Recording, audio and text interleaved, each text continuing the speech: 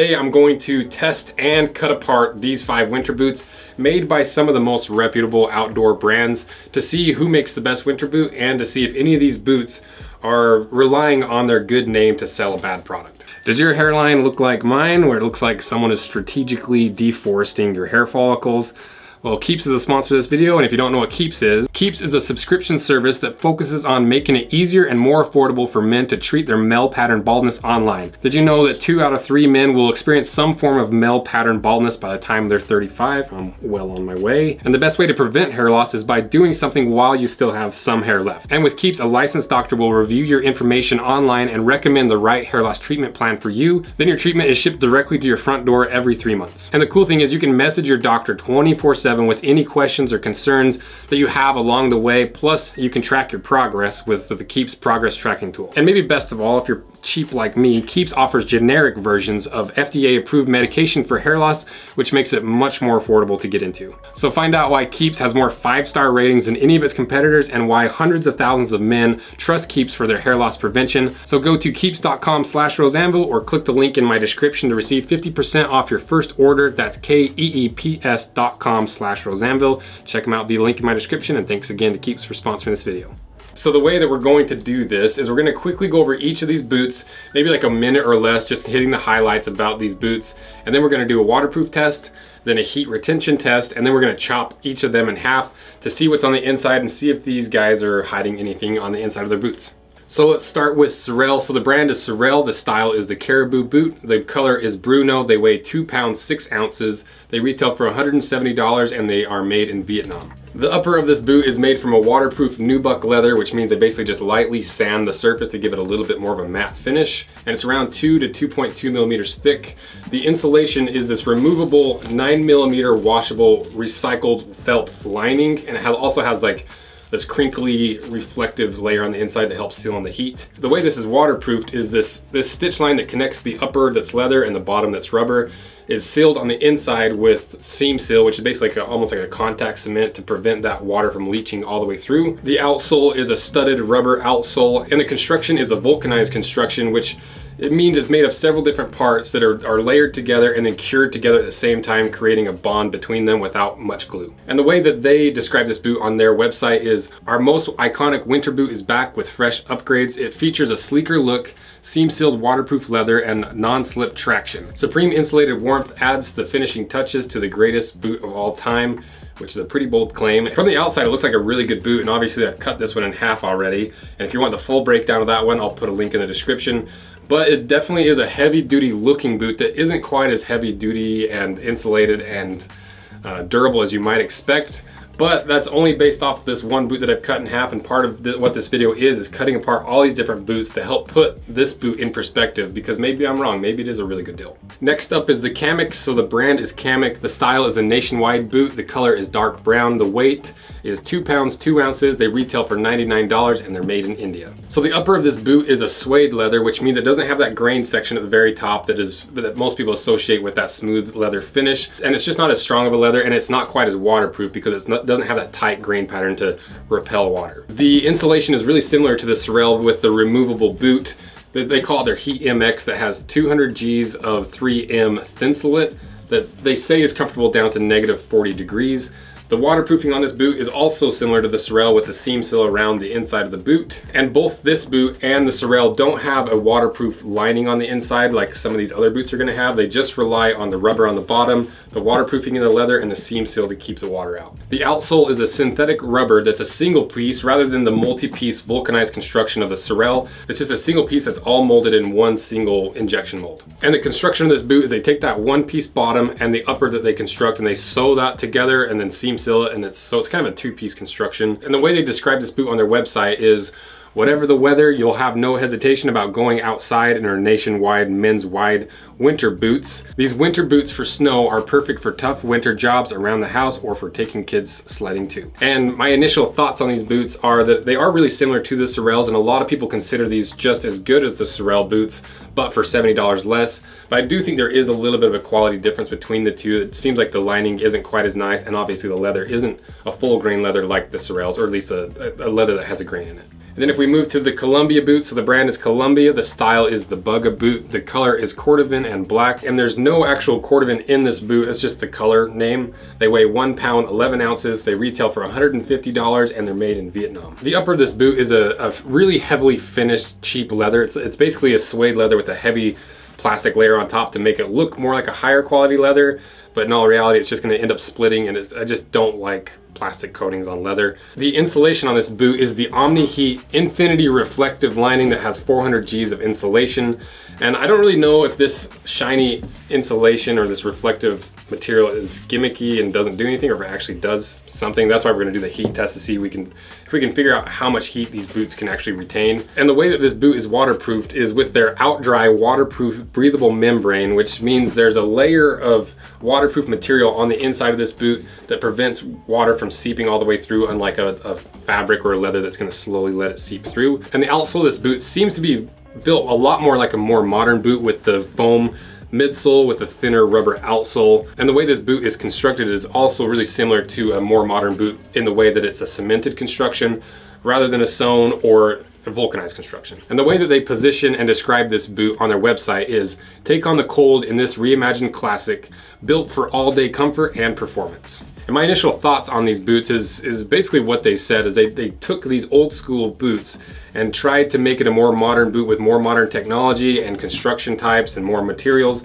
that are maybe more insulating underneath your foot with all the foam in the midsole. I don't really know how thick it is, so we'll see we get it cut in half, but I have high hopes for the Columbia boot. Then to the North Face boot. So the brand is North Face, the style is the Thermoball, the color is flax, they weigh one pound, four ounces. They retail for $129 and they're made in Vietnam. The upper of this boot is a waterproofed PU coated leather, but it's not polyurethane coated in the same way as the Columbia where they actually put a fake layer on top. The leather in the North Face is still a grain leather. You can see it still has some in it and it almost has the same nubuck look as a Sorels, but instead of a heavy coat of fake leather, they infuse the leather with polyurethane to make it more waterproof. And then the sleeping bag looking part of the upper is a 100% recycled PET baffled ripstop shaft with non-PFC durable water repellent. And I don't fully understand what all that marketing jargon means.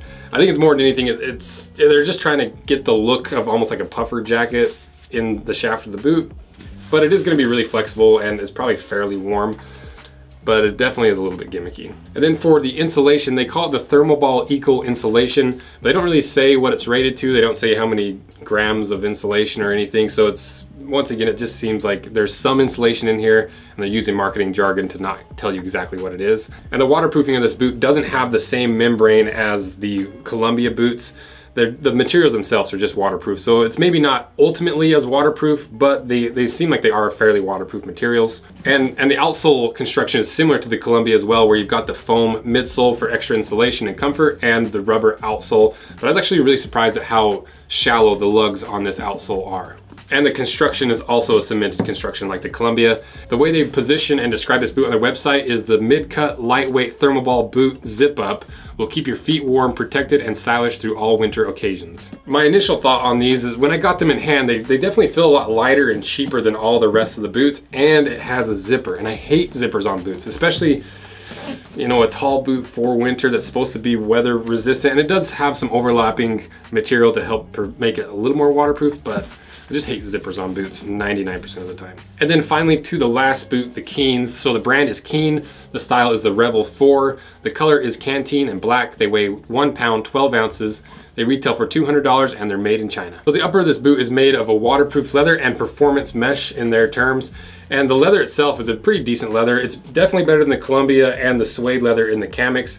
So it's pretty on par with the other two boots that have a grain. And it still has a buff texture just like the North Face and the Sorels.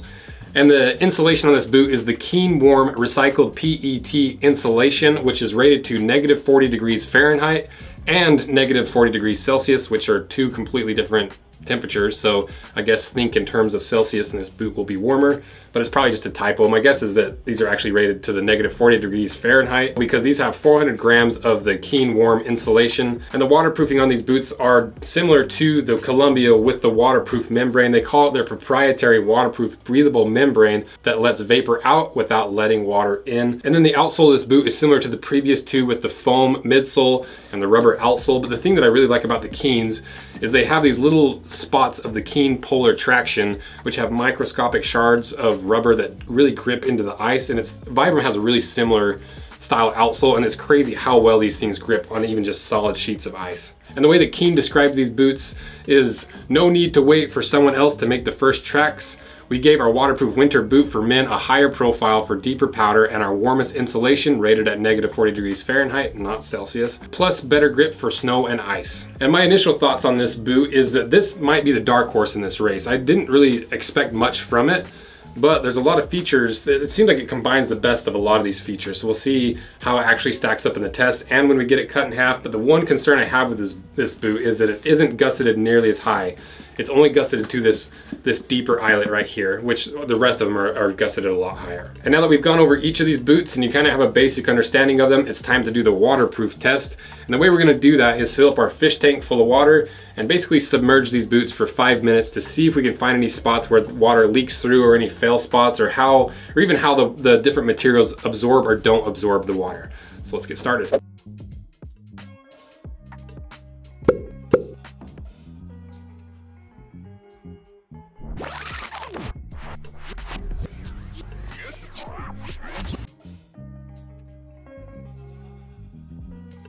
All right, so the results of the test are in and all of them performed really well. None of them leaked and we did it for five minutes straight, submerged them.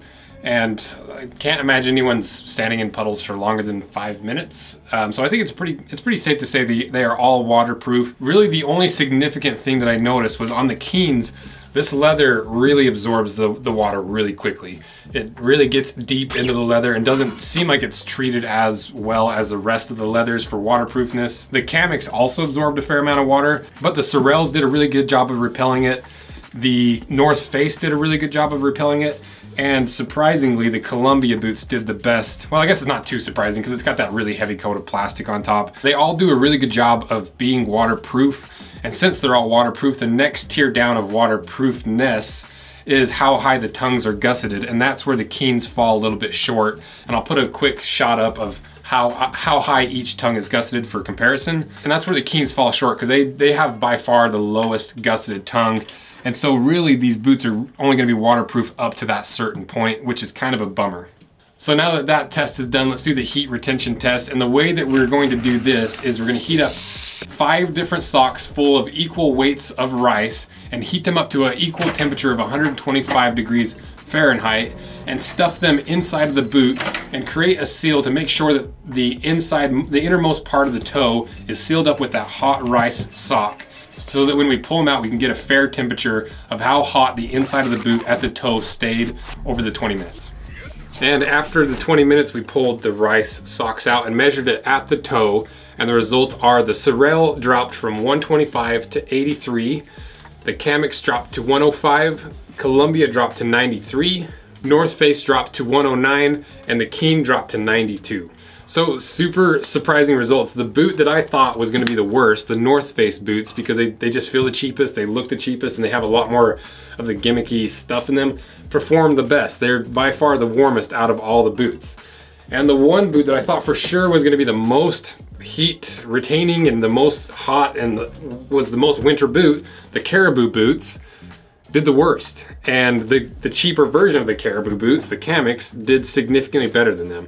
And that was really surprising. Even though I've cut these apart, I still thought this, this thick booty was gonna keep these boots warm. So really surprising results. And obviously there's some room for error in this test, but the, the amount that each of them dropped and the consistency across the several times we ran this test makes me feel pretty comfortable in the results. So now let's try to draw some conclusions as to why each of these boots performed the way they did for good and for bad by cutting them in half to see what's inside and in the longest cutting montage that I've probably ever done. So let's cut them in half.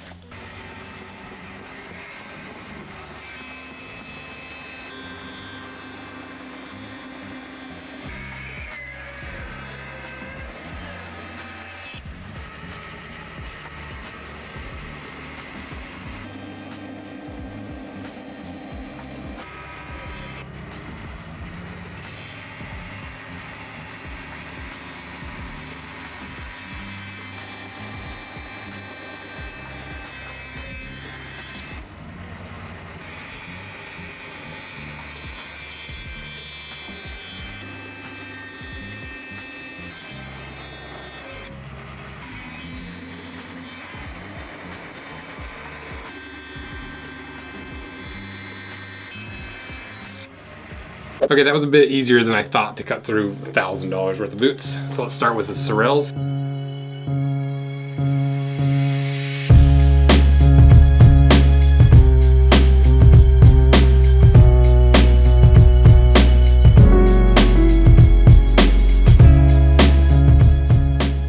So we really have two different types of boots. We've got the Sorels and the Kamiks that are uh, more of a snow boot that has a, a, interior booty that's removable, and then we've got the cemented boots with the foam midsole and the rubber outsoles.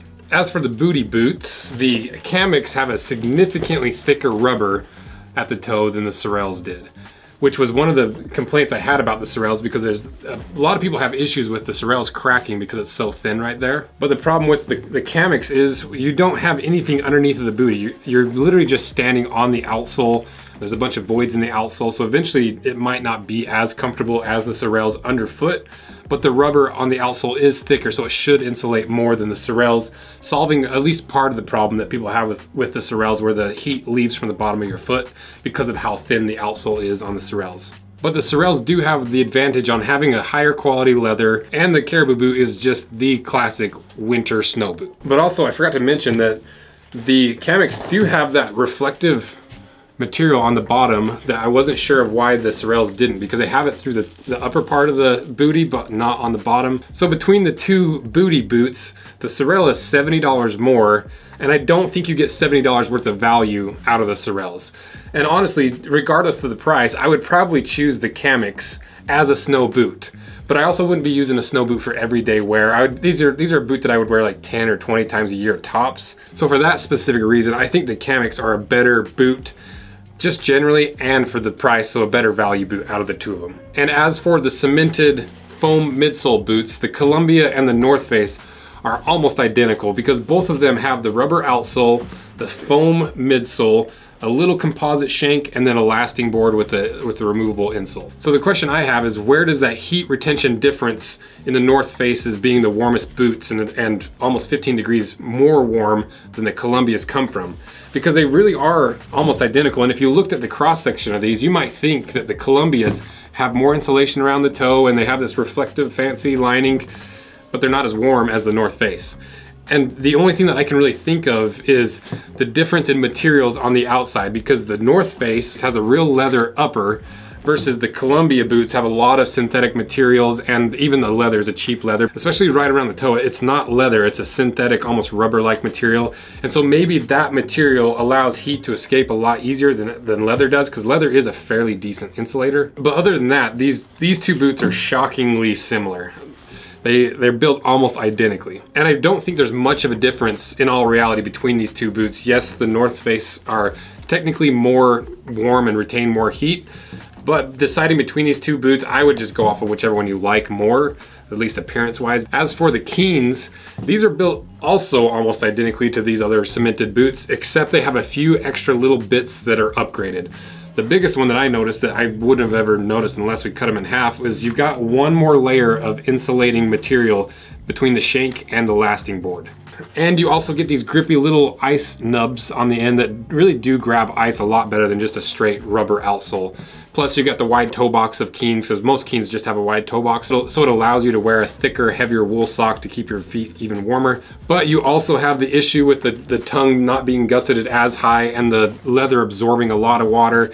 And they're the most expensive boots in this lineup. They're $200 and you could get two pairs of the Kamiks for the price of the Keens. So overall, I would say the Sorels are definitely using their brand name and their heritage of making winter boots to sell a product that isn't quite what most think most people think it is. I don't think it's a bad boot. I just think it's a bit pricey for what you get and there's better alternatives in the Kamiks. And I think the Kamiks are the best value boot out of this lineup because you can get these on Amazon for like 90 bucks. I'll, I'll, put a link in the description. And for a dedicated snow boot that you're just gonna wear on occasion, it's hard to beat that $90 price point and the insulation and the thicker materials. I think it's the best value boot in this lineup. But I wouldn't want to wear it every single day, and it is a lot uglier than the Sorels. The Columbias, I, I, would say they're the most like meh of the group. They don't really excel in any particular way, but there's nothing really overtly horrible about them. So they're just, they're fine. I, I if, if you end up buying these, I don't think you're gonna regret it. I, I just don't love them. They're just meh. The North Face was maybe the most surprising of this lineup. I thought for sure that when going into this, I, I almost regretted buying these for this lineup because like, oh, they're just not up to the same quality and the standard. But they ended up being the warmest out of all of them. But they do have a zipper, which I hate. And they're probably just not as sturdy with the upper and all these more synthetic materials. But out of the lineup, I would say these are probably the best casual winter wear boots out of this lineup. You know, because they're, they're a lot slimmer than the rest. They're the warmest out of the bunch. They have this shaft that's nice and flexible and easy to wear. And they are easy to put on with the terrible zipper. And then to the dark horse of the race, the Keens. I think this is the best overall boot. I think it does all those little things better than all the rest of the boot. And it also has the most features that are gonna benefit you day to day. And Keens are notoriously comfortable, but they're twice the price and they have that classic Keen look. These definitely look like a Keen boot. But as long as you're willing to deal with the, the flaws and you have the money to buy these boots, I think these are the best overall. So let me know which of these five boots you would choose as your best winter boot or the best overall boot. And let me know what you thought of this video of taking an entire series where we would usually do individual videos and then a finale. This one we compressed them all into a single video. It was a lot more effort. So let me know what you thought of it. And if you if you could help me out by getting this video into the algorithm by liking, commenting, and subscribing so that I can justify doing more of these videos. Because I, I kind of like this compressed series, especially for boots that aren't quite as interesting on their own. So thank you guys for everything you do and thanks so much for all your help. See ya.